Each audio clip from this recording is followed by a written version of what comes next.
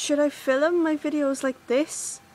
See, I have a habit of looking up this way, but I know that the camera is right there.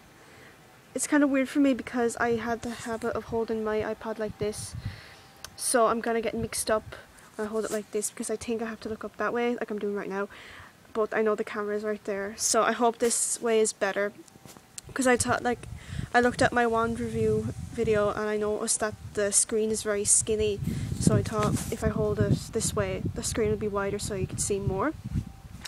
So I hope I just hope that this looks good on my laptop when I upload it. So anyway, I decided to do a video today talking about my summer. You see, summer's or the summer is kind of ending now and I'm back to school on Thursday, which is great. So I thought I would talk about my summer like all in all what I thought about it. Um, this was by far the worst summer I've ever had so far in my life. Um, it rained probably nearly every day because you know I live in Ireland and the Irish weather is absolutely terrible. If you don't believe me, just come to Ireland during the summer and you like you won't be surprised when people say like oh it's terrible and I actually wonder why people come here on holidays. I know that Ireland is a is a historical country and everything, but like, is the weather really worth it? I don't think so. The highlight of this summer for me was definitely my birthday. That was brilliant. I went up to Dublin and I did a lot of shopping and I got two Batman posters. Um, I've recently become a very big fan of Batman since I saw The Dark Knight. So yeah, that is the highlight of my summer. I went out probably, well I went out to Johnstown Castle uh, in July I think it was. I went somewhere else, I don't remember where I went. I think I went for a few walks with my family. That's it really, that's all we did. Like, we went to the beach twice, I think. We definitely went in July, I think. Um, it was so cold and it, it was I think it was damp and I think it started to rain.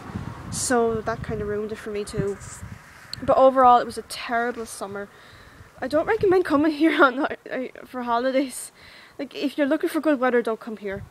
We probably get better weather in December so come here at Christmas time. But yeah so that is all from me Oh, um, just before this video ends or starts to end, I just want to say rest in peace to Neil Armstrong. I got the news that he passed away yesterday at the age of 82. Um, I just wanted to uh, just say rest in peace to him. He's an absolute hero. You know, as he said, one small step for man and one giant leap for mankind. So rest in peace, Neil Armstrong. So that is all for me today. Um, my Dumbledore's wand that I ordered will be coming tomorrow probably and hopefully. So I will do a review on that wand when I get it. And I'm looking forward to getting it. I'm going to start my collection, the Noble collection of Harry Potter wands because I've always been a big Harry Potter fan. So I thought oh I'm just going to collect all of the wands. Or most of them anyway I'm going to try.